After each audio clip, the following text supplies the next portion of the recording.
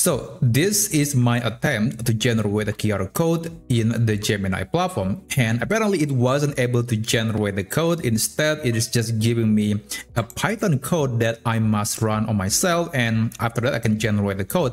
But that's not what I meant and also I asked AI to generate a download link for the QR code but apparently when I click this download link it is actually just an AI hallucination. It is not a real download link. This is contrast to ChatGPT where it is quite easily just generate the QR code, display the code to me, and also I got this download link that will give me the actual file. So this is actually a feature I like on ChatGPT because it can run a Python code, it can execute some code basically, and there are, some tasks that can be done by ChatGPT but cannot be executed in Gemini.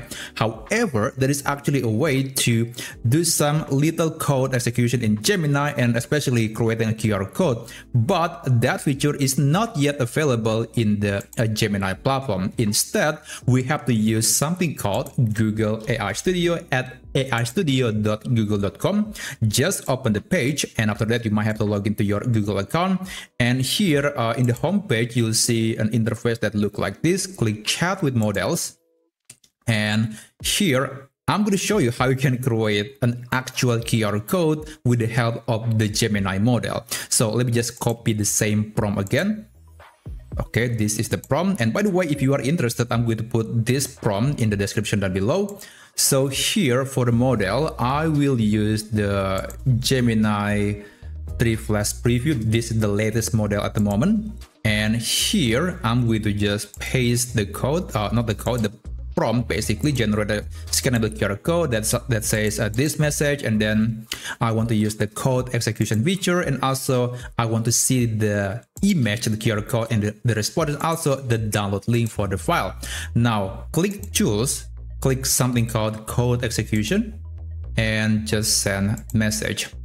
So I'm just using the default setting. Here I'll just use the thinking high level. Of course, you can use the medium or low. And just wait for Gemini to run some code and later you'll see that it is actually able to generate a scannable QR code.